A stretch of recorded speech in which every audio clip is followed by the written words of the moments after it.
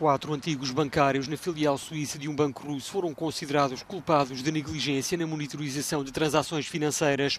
De acordo com a justiça suíça, os funcionários em questão ajudaram Sergei Roldugin a depositar vários milhões de francos em duas contas entre 2014 e 2016, sem investigarem devidamente a origem dos fundos, o que constitui uma violação das leis suíças contra a lavagem de dinheiro. Rodugin é um violoncelista conceituado na Rússia e amigo de longa data de Vladimir Putin, sendo inclusivamente padrinho da sua filha mais velha. A ligação foi revelada pelos Panama Papers em 2016, que sugeriram que Rodugin era um dos homens utilizados pelo presidente russo para canalizar dinheiro para o estrangeiro.